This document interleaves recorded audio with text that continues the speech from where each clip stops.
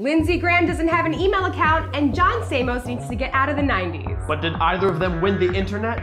Find out now.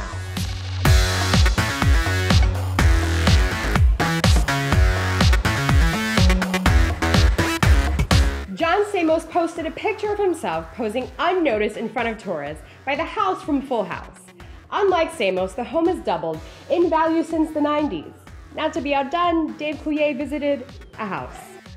Lindsey Graham told Meet the Press that the public could view every email he's ever sent because he's never sent one. Said Lindsey, I'm an old fashioned southern man. I send my dick portraitures via Pony Express.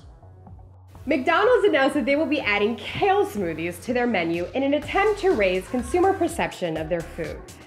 McDonald's executives said the kale shakes will be creamy, minty, and definitely just a shamrock shake.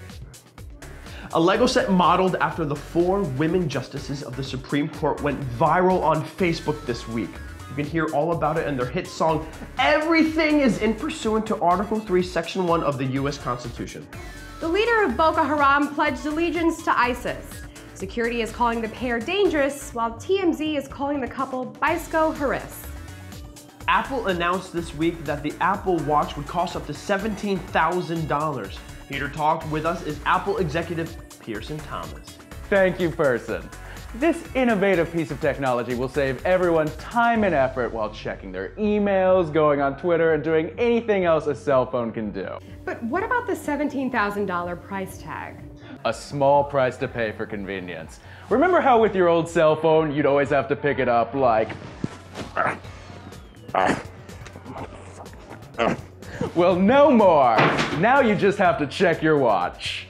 Uh, that's not that big of an inconvenience. Will it be able to at least play my apps? of course. Apple Watch will be able to use all of your favorite apps, from Kinder, the Tinder for Kennedys, Candy Union Crush, and Geffen, which is GarageBand, but just David Geffen. No, only a zillionaire would download that. We also read that the watch had a shelf life of only 2.5 years. True, but you can always lengthen its shelf life by using one of our many great Apple Watch cases. They range from such affordable materials as gold, basilisk tooth, yacht, and of course the severed hand of an Apple factory worker. Don't feel bad for him, he was lazy. This watch doesn't sound like it will do well. You know what? I don't need to take this abuse.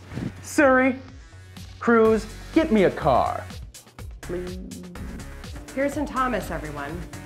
This massive alligator on a golf course did not win the internet this week, but do you know who did? Tom Hanks. Movie star Tom Hanks starred in Carly Rae Jepsen's music video, I Really Like You. Tom Hanks would really, really, really like you too. I'm Jenni Meat Lover Ruiza. And I'm Chris Tom Hanks Simpson. And remember to tweet at us using the hashtag Who Won the Internet. Peace! What?